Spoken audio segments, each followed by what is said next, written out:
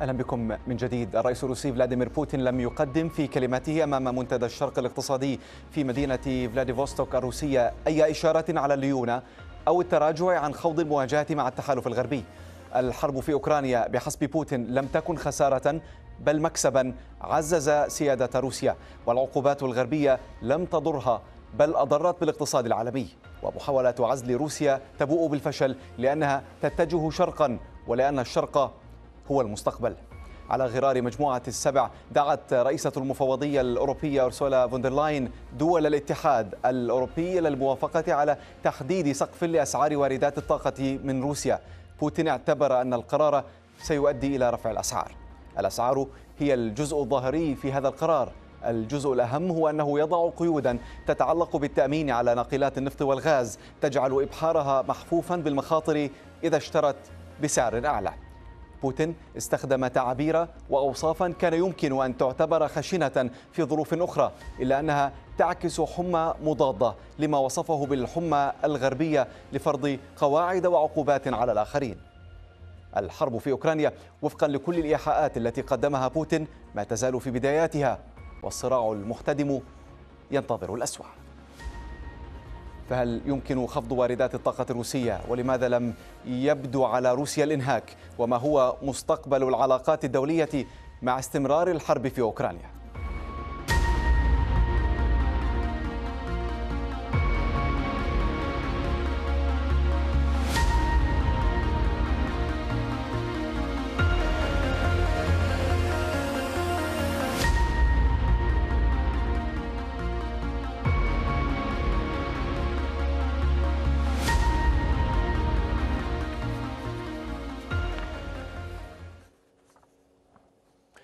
لنقاش هذا الموضوع. أرحب بضيفي من موسكو السيد إفغيني سيدروف الباحث السياسي ومن بون الألمانية السيد ياسر أبو معيلق الصحفي والباحث في الشؤون الأوروبية. مساء الخير مرحبا بكما.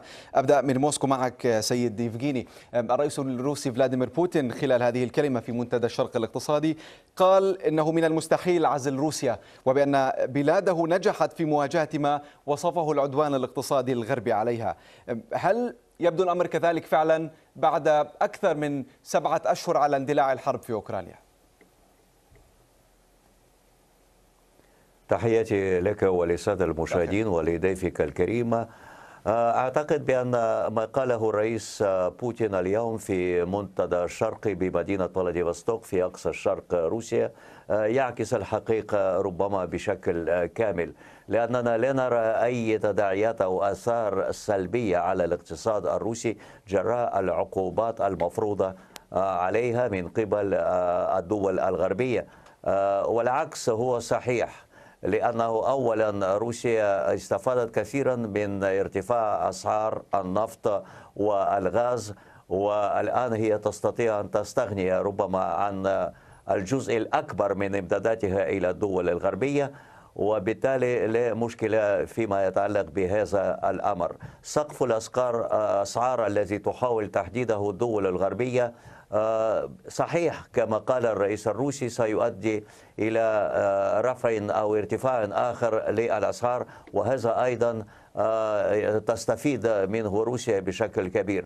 بالنسبة طبعا للآثار الأخرى يمكن القول إنه طبعا الاقتصاد ربما نوعا ما سيتضرر جراء هذه العقوبات وليس الآن وليس على المدى القريب ربما بعد مضي فترة طويلة نسبيا وربما بعد سنة أو سنتين كما يقول بعض الخبراء. ولكن حتى الآن أعتقد بأن قدرات روسيا تمكن البلاد من الحفاظ على نفس الاستقرار الاقتصادي الذي كان سائدا في روسيا قبل بدء العملية العسكرية في أوكرانيا.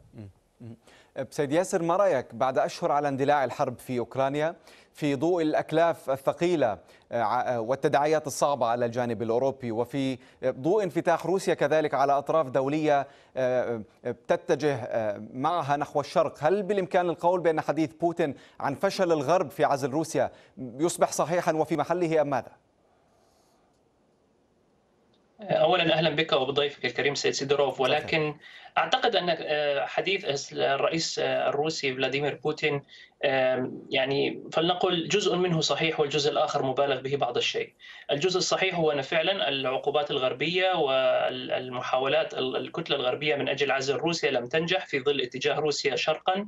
نحو آه، دول أخرى آه، تشترك مع روسيا في مصالحها آه، في منافستها للغرب وفي مناكفتها أيضا للغرب، ولكن على الجهة الأخرى لا يجب أن ننسى أن هذه عقوبات تفرضها كتل تعتبر من أقوى اقتصادات العالم وكتل تعتمد عليها روسيا في الكثير من احتياجاتها سواء في ما يخص المواطن الروسي العادي أو فيما يخص الصناعات الروسية وأغلب هذه الصناعات المتركزة في قطاع النفط والغاز. طبعا روسيا اقتصادها يعتمد بشكل كبير على النفط والغاز. يعني في عام 2019 بلغت تلك حوالي 56% من إجمالي صادرات البلاد وحوالي 39% من إجمالي الموازنة العامة للدولة.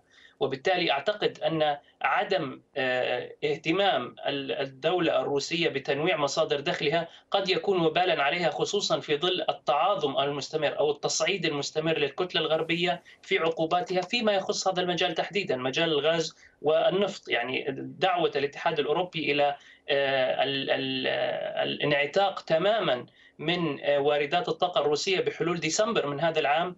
هي دعوة آه، ستكون لها آثار واضحة على روسيا حتى مع آه، وجود بدائل مشترين بدائل للدول الغربية في الصين أو الهند مثلا أو حتى إيران. يعني لكن أعتقد أن ذلك لن يكون قادرا على تعويض الخسائر التي مني بها الاقتصاد الروسي جراء هذه العقوبات. وهي عقوبات أشترك مع السيد سيدوروف بأنها ستكون لها تبعات طويلة الأمد. و يعني بغض النظر عن الادعاءات بأن هذه العقوبات ستؤدي إلى تدمير الاقتصاد الروسي وبسرعة، لكن لا أعتقد أن ذلك ممكنا بالنظر إلى اقتصاد آه، كبير كالاقتصاد الروسي آه، وأيضا بالنظر إلى آه، الخطط أو الاستراتيجية الموضوعة الروسية المالية والاقتصادية الموضوعة مسبقا قبل بداية هذه الحرب استعدادا لهذه الخطوات التي كانت تتوقعها موسكو برأيي. سيد سدروف بالرغم من التداعيات القاسية على الجانب الأوروبي لهذه الحرب وعلى وقف إمدادات الطاقة من الجانب الروسي إلا أن الجانب الأوروبي وفق ما نتابعه يبدو بأنه يمضي أكثر نحو التصعيد يمضي لتحديد سقوف لأسعار النفط والطاقة الروسيين بالرغم من التبعات والتداعيات. ألا يعكس هذا ربما أيضا فشلا روسيا في لي ذراع الأوروبيين وفي استخدام الطاقة كسلاح موجع فعلا من شأنه أن يغير من خياراتهم؟ أنا لا أعتقد بأن الحديث يمكن أن يدور عن محاولات روسيا لي ذراع الدول الغربية فيما يتعلق مثلا بإمدادات الغاز. لأن الدول الغربية يبدو أنها لم تمعن التفكير بشكل جدي ومتعمق في تداعيات مثل هذه العقوبات القاسية التي فرضت على روسيا. والحقيقة أن مثلا مسألة التوربينات إذا أخذنا هذه المسألة على سبيل المثال فروسيا تقول إن آه، التوربينات أيضا خضعت لبعض العقوبات وبالتالي هذا الأمر آه، يمنع آه، من العودة إلى الامدادات بكامل حجمها. المشكلة هنا يعني ربما يجب النظر إليها من زاوية الشقين. الشق الأول كما يقول البعض هو خلفية سياسية للخطوات الجوابية التي تتخذها موسكو ولكن هذه آه، الخلفية آه، السياسية كما يزعمون ترتبط ارتباطا وثيقا بالشق الثاني وهو الشق التقني لأن العقوبات تسببت في آه، ربما الصعوبات والتعقيدات الكبيرة المرتبطة بالعمل الثابت للتوربينات وعموما باستمرار الامدادات آه، الروسية من الغاز والنفط إلى الدول الغربية. وبالتالي آه، أعتقد بأن هذه المسألة أكثر تعقيدا مما تبدو هي من أول وهلة. وبالنسبة لتنويع مصادر روسية أو تنويع المشترين والزبائن للنفط والغاز ومصادر الطاقة بوجه عام بالنسبة لروسيا فأعتقد بأن هناك آفاقا لا يستهان بها فيما يتعلق بتوسيع دائرة أو مجموعة هذه الأطراف والحلفاء الجدد التي لا شك أنهم سيظهرون قريبا في دول كثيرة لا سيما في محيط آسيا وفي منطقة آسيا والمحيط الهادي.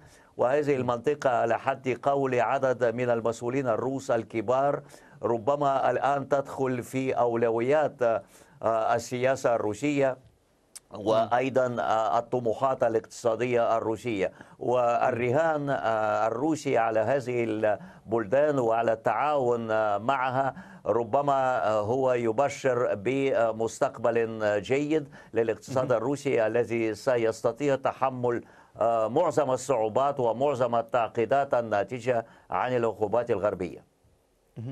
سيد ياسر بتصورك على أي أساس يمضي الجانب الأوروبي للتصعيد مع روسيا في ملف الطاقة؟ في هذا التوقيت في ضوء ارتفاع الأسعار في ضوء تعقيد الخيارات كذلك وفي ضوء الاقتراب من من فصل الشتاء. كيف بالإمكان فعلا تفسير هذا الموقف الأوروبي؟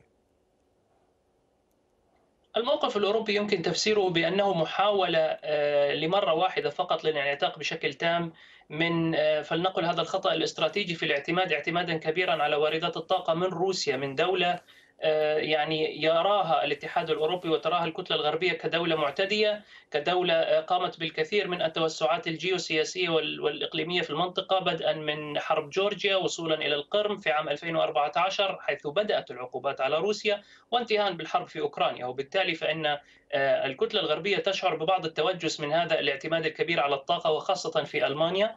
ولذلك أعتقد أن الأوروبيين درسوا الخطوات. أي نعم أن هذه العقوبات فرضت بشكل متسرع بشكل ربما لم يكن مدروسا ولكنه كان مطلوبا في في ذات الوقت من أجل توجيه صفعة يعني معاكسة إلى روسيا عندما بدأت هذه الحرب. ولكن أعتقد الآن أن الأوروبيين بدأوا أكثر وعيا للدرس الذي حصل وبدأوا وهم أكثر وعيا الآن لصدمة الأسعار الذي التي حصلت في في موضوع الطاقة. الحكومات الأوروبية المتعاقبة بدأت بتوعية بحملات كبيرة لتوعية المواطنين بإقرار حزمات مالية من أجل تخفيف هذا العبء تخفيف وطأة عبء ارتفاع أسعار الطاقة على المواطن. أيضا بدأت بإجراءات تكافلية وتضامنية في داخل الدول الاتحاد الأوروبي من أجل توزيع حصص الغاز على الدول التي تحتاجها. كما رأينا مثلا في مثال النرويج التي فضلت عدم ضخ الغاز الذي تقوم به تقليديا في في آبار البترول من أجل زيادة النفط المستخرج وفضلت منح هذا الغاز إلى ألمانيا من أجل أن يعني محاولة ملء خزانات الاحتياط قبل أن يدخل أو يحل فصل الشتاء على الألمان دون أن يكون هناك إمكانية لتزويد البيوت بما تحتاجها خلال هذا الفصل من أجل المرور به. أيضا كما أيضا رأينا أن البنية التحتية لواردات للطاقة في كثير من الدول التي تعتمد على الأنابيب الروسية بدأت الآن بالاتجاه إلى بناء منافذ في على البحر من أجل استقبال الغاز المسال. من دول أخرى طبعا غير روسيا. وهناك توجهات من أجل الوصول إلى ذلك بأسرع وقت ممكن ربما مع منتصف العام القادم سيد يفجيني الجانب الأوروبي الذي يريد أن يشتري الغاز والطاقة بيجد صعوبة في توفير البدائل. تابعنا زيارات المسؤولين الأوروبيين لأكثر من من دولة سواء للجزائر لقطر الانفتاح على الجانب الأمريكي النرويجي محاولة الحلحله مع إيران لكن تظل تظل هناك تعقيدات كبيرة. فما بالك بمن يريد أن يبيع لأسواق جديدة؟ هل تكون مهمة الجانب الروسي فعلا سهلة بالانفتاح على أسواق جديدة في ضوء وجود عقوبات دولية اليوم مفروضة على هذا القطاع الهام والاستراتيجي. من جهة هذا الصحيح كما تفضلت وروسيا بطبيعة الحال ستنفتح أكثر على أسواق جديدة ولا شك أنها ستجد هذه الأسواق. الأمر الآخر والسؤال الآخر هل يكفي ذلك لربما التعويض عن الخسائر المحتملة التي ربما تلحق بالإقتصاد الروسي؟ من الصعب الآن الإجابة بنعم أو بلا على هذا السؤال ولابد من انتظار وقت أو فترة يعني معينة من الوقت لكي ندرك تداعيات يعني هذه القرارات المتخذة ورد الروسي عليها. ولكن على أي حال بعض الإجراءات التي يتخذها الاتحاد الأوروبي مثلا فيما يتعلق بسقف أو بتحديد السقف الأسعار للغاز والنفط يبدو أنها تتعارض مع مبادئ السوق أو الاقتصاد الحر الذي طالما دعت إليه الدول الغربية نفسها. فهي الآن تدخل بهذه الإجراءات في تعارض مع نفسها وواضح تماما أن هذا نعم. الأمر لن يكون له تأثير إيجابي على سوق سوق نعم. الطاقة وسوق النفط وأيضا على الوضع الاقتصادي في الدول الغربية نفسها لكن سيدي يفجيني في ضوء السعي الروسي لإيجاد اسواق جديدة شرقا وآفاق بعيدا عن الجانب الأوروبي، هل من خيارات واقعية فعلا؟ بإمكان الجانب الروسي المضي لها. ما عدا السوقين الصيني والهندي على أهميتهما، لكن هل من خيارات أخرى بديلة للجانب الروسي في ضوء هذه التطورات المتسارعة؟ لا طبعا هناك خيارات وبدائل أخرى. أيضا أولا يمكن التعويض عن هذه الخسائر وربما الأضرار عن طريق توسيع حجم النفط والغاز الذي يتم توريده إلى الحلفاء القدامى إن صح التعبير. فمثلا نرى أن الهند زاد كثيرا من مشتريات أو من استيراد النفط من روسيا.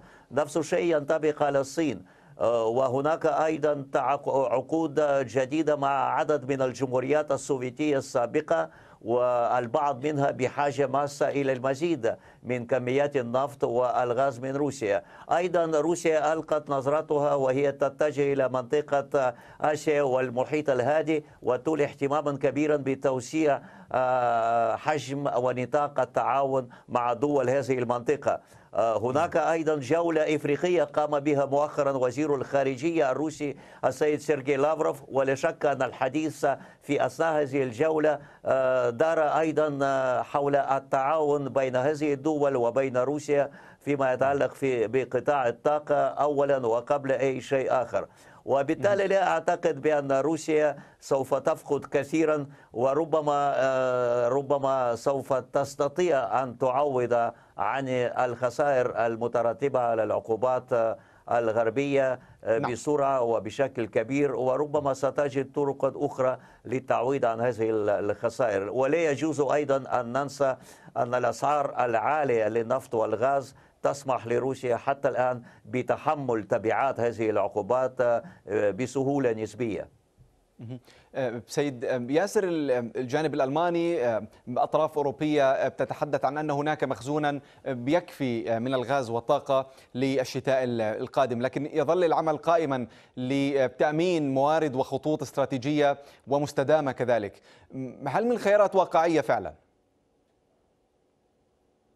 طبعا فيما يخص ألمانيا تحديدا والتي تعتبر ربما الدولة الأوروبية الأكثر اعتمادا على واردات الطاقة الروسية. هناك طبعا عملية حثيثة للبحث عن بدائل منها كما ذكرت الغاز المسال. هناك عدد من منافذ استقبال الغاز المسال التي يتم بناؤها الآن في شمال ألمانيا ويفترض الانتهاء من بنائها في منتصف العام القادم أي بعد انتهاء الشتاء. هناك أيضا يعني بعض الاتفاقات مع الدول شمال أوروبا والدول الإسكندنافية مثل النرويج مثل فنلندا من أجل تزويد ألمانيا بالفائض من الغاز الذي تنتجه وخاصة النرويج والتي تعتبر دولة كبيرة منتجة للنفط والغاز.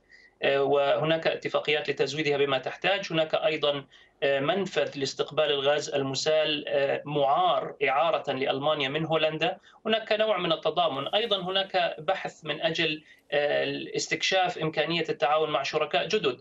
مثلا رأينا زيارة قبل عدة أشهر لوزير الاقتصاد الألماني ونائب المستشار روبرت هابك إلى قطر. من أجل استكشاف إمكانية توقيع عقود لتوريد ألغاز المسال، هناك أيضا اتفاقيات مع أو محادثات فلنقل مع الجزائر ومع عدد من الدول المصدرة للغاز المسال تحديدا. ولذلك أعتقد أن هناك يعني بحثا عن هذه البدائل. لا توجد لدى الحكومة الألمانية أو حتى الدول الأوروبية نية للعودة إلى الأعمال كما كانت سابقا مع روسيا، هناك نهج واضح للتخلي عن واردات الطاقة بالكامل من روسيا وأعتقد أن هذا الشتاء فصل الشتاء القادم سيكون فصلا حاسما في هذا الموضوع وسيكون ربما الأقسى على مواطني أوروبا ربما ولكن حسب التوقعات أو حسب وكالة الطاقة الألمانية أو وكالة شبكات الطاقة الألمانية فإن عملية ملء خزانات الاحتياط اللازمة للعبور بألمانيا في فصل الشتاء بأمان تسير أسرع مما هو مخطط له وربما ينتهي التخزين بحلول شهر نوفمبر.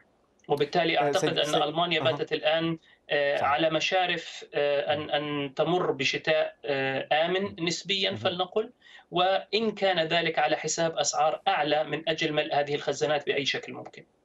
صحيح يبدو الجانب الألماني يتحدث عن مخزون بات عند حاجز ال 85% لتأمين. الشتاء المقبل. لكن سيد ياسر بالعودة لهذا التوجه الأوروبي للانفكاك تماما عن الطاقة الروسية قضية التوربينات لنورد ستريم 2 كانت حاضرة في حديث الرئيس الروسي. اليوم قال بأنه إذا سلمت سيتم ضخ الغاز بشكل فوري في اليوم التالي. هذه القضية وتعطيلها إلى مدى يبدو مدفوعا من الجانب الأوروبي أكثر ويبدو بأن هناك توجها فعلا لتعقيد ذلك ولأن تشمل العقوبات. قضية التوربينات المنتظرة.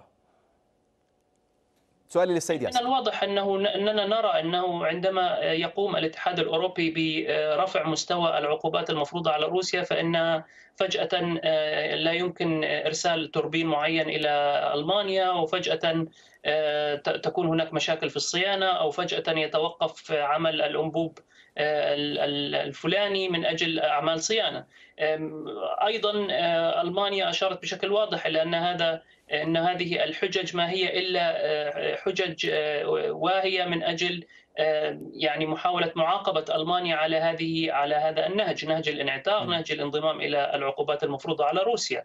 ومحاولة الضغط أيضا على ألمانيا في هذه الورقة وهي ربما تكون الورقة الوحيدة التي تمتلكها روسيا للضغط على ألمانيا في هذا الموضوع ألا وهي ورقة الطاقة. بالتالي أعتقد أن مسألة إعادة التوربين من عدمه ليست مرتبطة بالعقوبات الأوروبية بقدر ما هي مرتبطة بما تمتلكه روسيا من أوراق ضغط على ألمانيا تحديدا والاتحاد الأوروبي عموما ألا وهو أسعار الطاقة الارتفاعات المضطردة لهذه الأسعار مقرونة بالتضخم المالي الذي يسود العالم بأكمله ويؤثر على حيوات المواطنين في في كل مجال من روسيا إلى أوروبا. جميع المواطنين نعم. يعني متأثرون بهذه بهذا التضخم المالي الذي أصاب الجميع ولكن فيما يخص أسعار الطاقة أعتقد أن أن ذلك سيكون كما ذكرت مسبقا شتاء صعبا على المواطنين الأوروبيين ولكن أعتقد أنه سيكون شتاء امنا نسبيا في ظل الخطوات التي اتخذت مسبقا وتتخذ حاليا بشكل حثيث من أجل التعامل مع هذه الأزمة قبل دخول المرحلة الحرجة ألا وهي مرحلة الشتاء. سيد يفغيني قضية التوربينات لنورد ستريم ألا تأتي في ذات الإطار الروسي لخلق ربما الأسباب أو المبررات أو حتى ربما الذرائع للمضي لخطوات قطع إمدادات الطاقة؟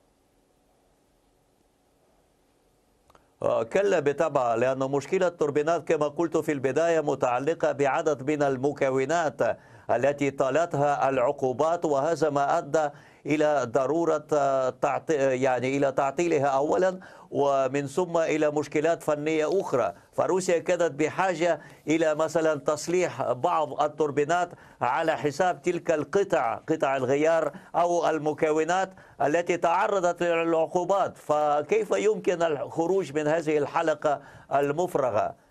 هنا السؤال. وبطبيعة الحال روسيا مستعدة حال رفع العقوبات عنها في العودة إلى العمل سواء في نورد ستريم واحد أو نورد ستريم اثنين. يعني لا مشكلة هنا. وهناك أيضا بعض الإشارات التي ربما يمكن اعتبارها مشجعا نوعا ما لكنها بعيدة عن هذا الملف. ومع ذلك فلابد من أن نلفت النظر إليها. أنا أقصد هنا تصريح أخير أدلى به الناطق على لسان الكريملين الروسي السيد دمتري بيسكوف الذي لمح إلى أن إلى أن التفاوض أمر ممكن في المستقبل. هذا أولا. آه، يعني التفاوض طبعا كان المقصود آه، بهذا التفاوض بين روسيا والغرب.